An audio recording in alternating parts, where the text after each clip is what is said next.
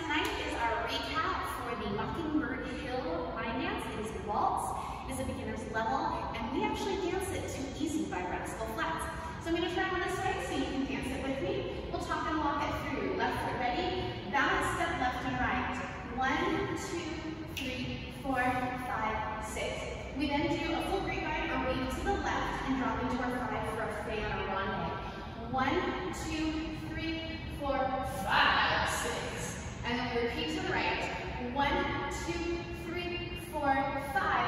this time we flick back we bring knees together.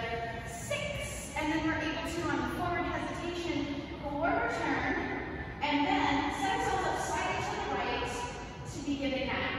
So we start left, two, three, right, two, three, vine, two, three, four, five, six.